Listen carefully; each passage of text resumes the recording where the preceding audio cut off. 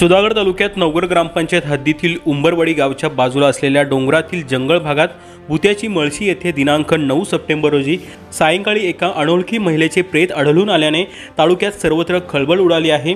सदरील महिलेचे प्रेत हे बेवारस कुजलेल्या व सडलेल्या स्थितीत कोणत्या तरी अज्ञात कारणाने मयत झालेले मिळून आले असून या महिलेची ओळख अद्याप पटली नाही. या घटनेची पाली पोलीस ठाण्यात अकस्मात मृत्यूची नोंद करण्यात आली असून तपास सुरू करण्यात आला आहे. या घटने ठिकाणी डॉग स्कोड आणि फॉरेन्सिक लॅबवाले येऊन घटनेचा शहानिशा केला. या घटनेचा पुढील तपास पाली पोलीस निरीक्षक सरिता चव्हाण यांच्या मार्गदर्शनाखाली पाली पोलीस करीत आहेत.